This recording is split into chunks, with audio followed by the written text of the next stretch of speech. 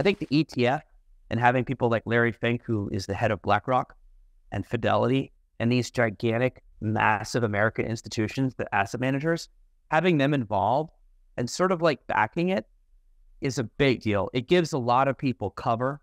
And even if it is not quite regulated and banks can't even really deal with it, um, those big institutions getting involved, BlackRock, Fidelity, et cetera, uh, I think are really, really big moments. Wait a minute, everyone. Welcome to Bitcoin Zella, your platform for daily cryptocurrency analysis and news. Our mission is to keep it simple. Bitcoin Zella offers engaging information that is easy to understand. Our analysts keep their eyes on the latest news to provide valuable insights via email. Don't miss out on this opportunity. Join our community of 10,000 subscribers and experience the new edge with Bitcoin Zella. Subscribe now. In today's video, Eric Balchunas discusses Bitcoin ETF and the trends in the ETF industry. Why Eric thinks that BlackRock ETF will have significant growth in Bitcoin adoption. Eric also gives a peek into his portfolio and shares some hot takes on the current state of investing in crypto. So without wasting any time, let's dive into the video there's three main types of investors retail, there's like do it yourself people who have brokerage accounts. Then there's advisors, financial advisors, they're like wealth managers. They, um, if you have a lot of money and you need help with like taxes and estate planning and all that, they will help you and they'll like build your portfolio and whatnot. Those people manage $30 trillion in America. And that's where the bulk of the money is. That's the crowd this ETF is namely going after and they love ETFs. Advisors, ETFs are their favorite vehicle to use for anything. So they're very comfortable with them. They trust them. They use BlackRock ETFs all the time. So that to me is the main market that would open up with the ETF for Bitcoin. Then you have institutions. This is like professional traders, hedge funds, um, endowments, pensions, big, gigantic asset owners. They are probably going to use the ETF, but they'll probably only use the one that's really liquid. They love liquidity, um, and they will. I don't think they'll use it tremendously, but I but there's they have so much money that even if like a if they one percent allocation, uh, that's a ton of money. Uh, so I would see that down the line, the owners of the Bitcoin ETF are, you know, maybe twenty percent retail, sixty percent um, advisors, and maybe another twenty percent institutional. But so advisors to me are, are the main market here. And again, 30 trillion is a ton of money. So if they just if they were to apply just a 1% allocation to Bitcoin, um, it's going to add up pretty quickly. Fidelity Digital Assets has revised its medium-term outlook for Bitcoin from positive to neutral following the first quarter, citing several metrics that suggest Bitcoin is no longer considered cheap amid a potential buildup of sell pressure.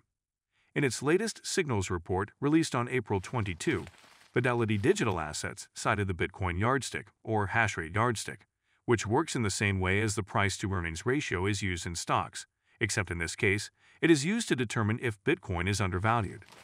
Fidelity noted that the yardstick remained between a negative 1 and 0 deviations from the mean of 51% in the first quarter, meaning there were zero days on Q1 where Bitcoin was considered cheap.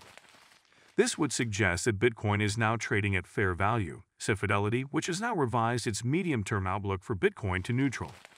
Other metrics it cited that added to its neutral outlook was the fact that long-term holders are adding to sell pressure, while 99% of addresses are in profit, which could incentivize selling.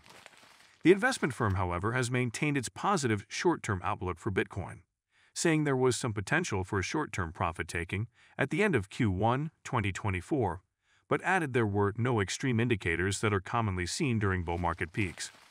The company cited price levels remaining above a golden cross on the Bitcoin chart, with the asset trading above its 50-day and 200-day moving averages throughout Q1, indicating bullish momentum.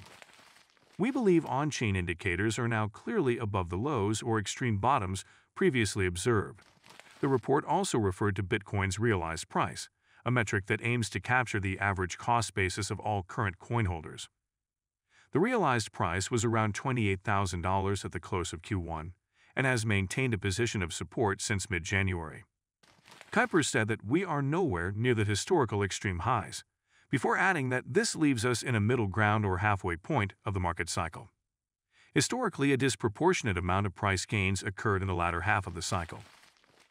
Bitcoin has remained range-bound since the end of February, oscillating between resistance at $72,000 and support at $60,000.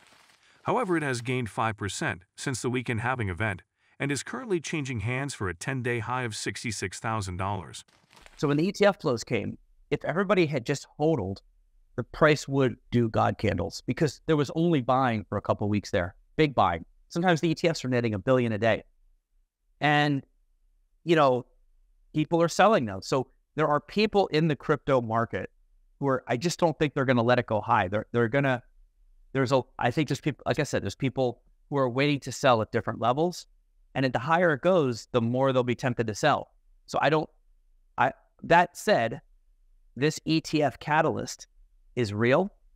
ETFs are, I dedicate my whole career to ETFs. They rule. They are the, you know, they say as a customer, you can only get two of these three things fast, good, cheap, right? If it's fast and good, it's not cheap. If it's good and cheap, it's not fast. You get the idea.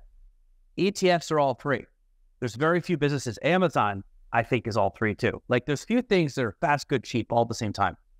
And this is why just being in the ETF it's only three months. Over time, this is definitely going to be a, a, positive catalyst. It's going to bring new investors into the market.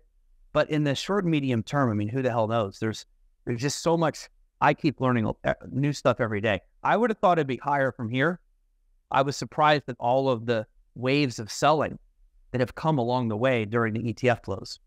The people who should definitely buy their own Bitcoin to me are the ones that really see the the sort of like maybe apocalyptic end game here where society collapses and it's like Mad Max Fury Road.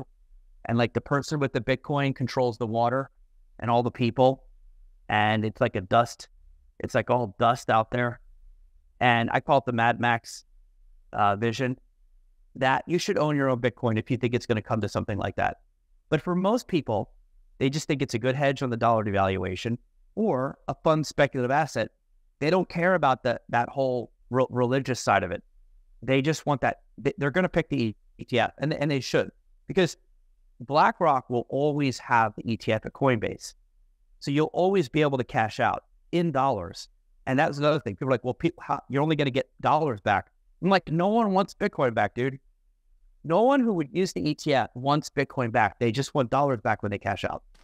On Monday, April 22, the BlackRock Bitcoin ETF IBIT registered yet another inflow of $19.4 million, registering 70 consecutive days of inflows ever since launch. This puts BlackRock's IBIT ETF into the top 10 exchange-traded funds, recording the largest daily streak of inflows. So far, BlackRock's IBIT Bitcoin ETF has amassed more than $15.4 billion worth of Bitcoins as of its current price. While on the one hand, BlackRock has been recording continuous inflows, the Grayscale Bitcoin ETF has registered continuous outflows on the other hand. BlackRock's IBIT has been swiftly closing the gap with GBTC and could soon become the largest Bitcoin fund in the market. Earlier today, Bloomberg's senior ETF analyst Eric Balchunas shared a chart on X, highlighting the potential milestone for BlackRock's fund, IBIT, if IBIT manages to sustain its streak of 70 consecutive days of net inflows, it will join the ranks of some of the most successful exchange-traded funds in history. IBIT inflow streak currently at 69 days. One more day, and it moves into the top 10 and ties GT as GTS, Balchunas noted. The JETS exchange-traded fund, which holds shares in companies within the airline industry, has also achieved 70 consecutive days of inflows, as per Balchunas data. Prior to today, Jets held the 10th position in this regard.